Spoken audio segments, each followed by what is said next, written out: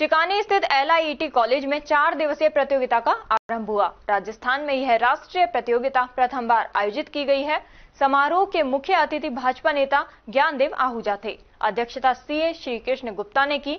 इस अवसर पर राष्ट्रीय सचिव डॉक्टर सोनू शर्मा, राजस्थान अध्यक्ष डी एन उपाध्याय, राजस्थान सचिव कविता शर्मा, मनोज चाचान, डॉक्टर राजेश भारद्वाज, बाल खेल अधिकारी अंजना शर्मा, बास्केटबॉल के राष्ट्रीय कोच दीपिका, दीपक बागड़ी राजेश शर्मा, विक्रम चौधरी, जिला अध्यक्ष उद्घोषक धर्मवीर पाराशर उपस्थित थे। इसमें 22 राज्यों की 32 टीमें छात्र एवं छात्रा वर्ग में भाग ले रही हैं। सभी राज्यों के करीब 500 खिलाड़ी भाग ले रहे हैं। सचिव बबली सिंह मीणा ने बताया कि प्रतियोगिता का समापन 15 जून को होगा।